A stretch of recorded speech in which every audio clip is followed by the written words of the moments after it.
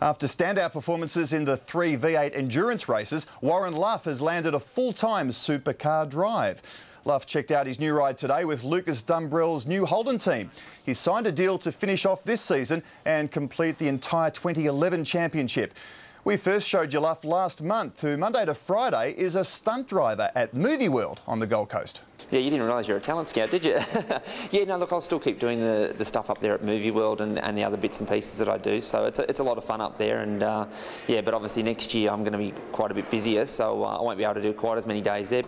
Luff will debut with his new team in Tasmania in a fortnight.